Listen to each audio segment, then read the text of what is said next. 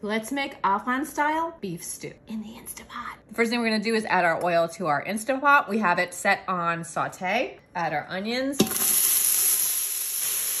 And so now we have four cloves of garlic, cumin, coriander, turmeric, black pepper, and salt.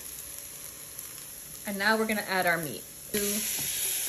Covered with all of the spices, add our potatoes, hot water that we're gonna add into here, and our beef flavored bouillon cube. If you have chicken, if you have the Sazon, which is just vegetarian, whatever you have. On meat stew, which is 30 minutes.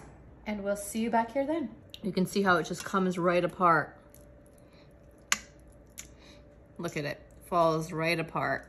I can't decide if I'm a genius for using the bouillon cubes or I'm just a genius. I don't know. You be the judge.